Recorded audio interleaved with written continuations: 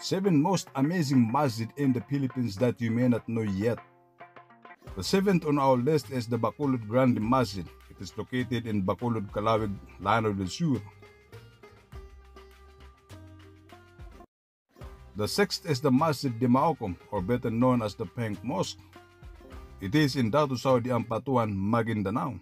The fifth is the Grand Masjid in Jolo Sulu, better known as the Masjid Tulay. The fourth is the Blue Mosque, located in Maharlika Village, Taguig City. The third is the Golden Mosque in Quiapo, Manila City. It is the largest masjid in Metro Manila.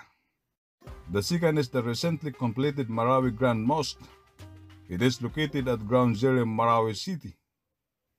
The first on our list is the Sultan Hassanal Bolkiah Masjid, located in Cotabato City.